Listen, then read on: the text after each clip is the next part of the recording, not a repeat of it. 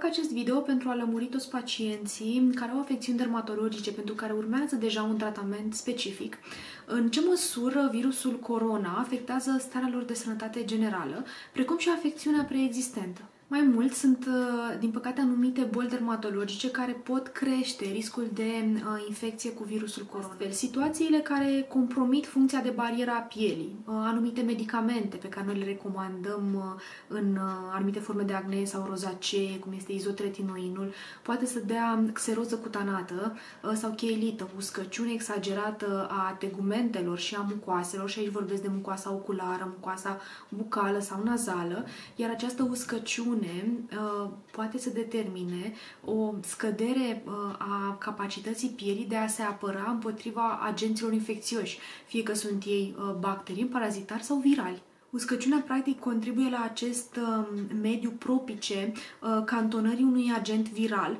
De aceea, uh, vă sfătuiesc să purtați mijloace de protecție specifice la nivelul uh, feței, de exemplu, uh, mască, astfel încât virusul să nu pătrundă așa ușor prin uh, tegumentele uscate.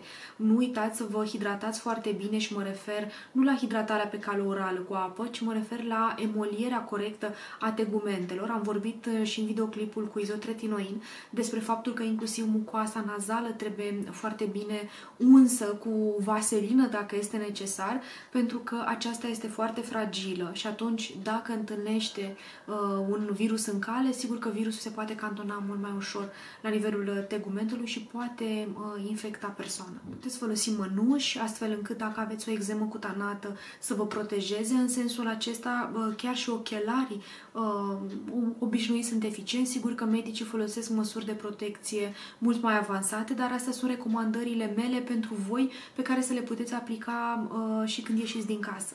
În ceea ce privește modul în care uh, virusul interacționează cu celelalte afecțiuni, aș vrea să precizez cazul pacienților cu boli autoimune sau mediate imunologic, care sunt în tratament cu uh, imunosupresoare uh, sau cu tratament biologic. Astfel, dacă un pacient are, spre exemplu, psoriazis vulgar, uh, o formă ușoară pe care o ține uh, sub control cu uh, tratamente topice de tip uh, decapante, emoliente și nu are alte comorbidități, nu are afecțiuni cardiovasculare, bolare respiratorii, practic el are același risc ca și populația generală de a se infecta cu virusul corona. Însă, dacă pacientul are o formă mai severă de psoriazis, un psoriazis generalizat, uh, de exemplu, și pentru care ia uh, tratamente imunosupresoare sau imunomodulatoare, uh, sau dacă are și alte comorbidități asociate, categoric el se află într-o populație de risc și are șanse mai mari să se îmbolnăvească. Cu toate astea, nu este recomandat recomandat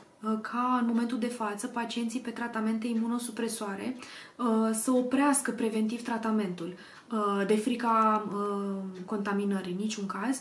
Recomandarea mea este să vă continuați tratamentul, iar în cazul în care sunteți depistat Uh, pozitiv, uh, vă sfătuiesc să vă contactați medicul dermatolog pentru că doar în acea situație uh, e posibil ca el să vă recomande oprirea tratamentului pentru afecțiunea dermatologică de fond. Se știe că cel mai mare risc de infectare cu coronavirus îl au persoanele peste 60 de ani, fumătorii și vreau să știți că fumătorii Uh, în mod normal își pierd această uh, abilitate a mucoasei căilor respiratorii superioare de a uh, elimina particulele virale.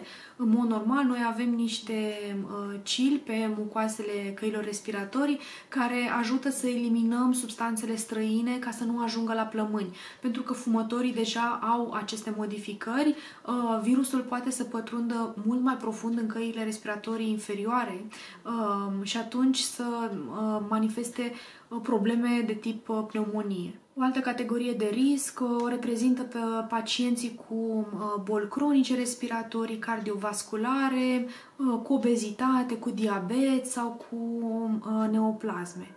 Iar bineînțeles că dacă deja aveți simptome de o infecție respiratorie uh, superioară, de căierenie superioare, încercați să evitați contactul. Recomandările generale în momentul de față este să vă izolați la domiciliu. Acesta este cel mai mare lucru pe care voi îl faceți pentru uh, cei din jurul vostru, dar și pentru voi înșivă. Aceleași recomandări se aplică și pentru bolile autoimune precum uh, lupusul eritematos, cu mențiune că infecția cu acest virus poate să scadă accesul la medicamente care uh, se folosesc uh, foarte frecvent în tratamentul lupusului și anume hidroxiclorochina, pentru că s-a tot vorbit zilele acestea de plachenil sau clorochina.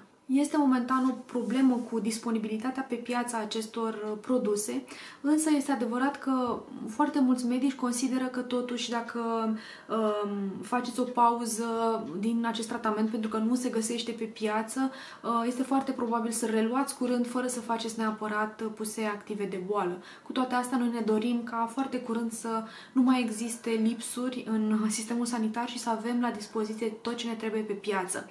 Dacă aveți o problemă dermatologică, chirurgică pentru care medicul dermatolog v-a dat un tratament sistemic pe cale orală uh, și dacă sunteți confirmat pozitiv, cel mai bine este să contactați medicul dermatolog astfel încât să vă poată uh, urmări în toată această perioadă și să poată lua o decizie cu privire la oprirea sau continuarea tratamentului pentru afecțiunea uh, menționată.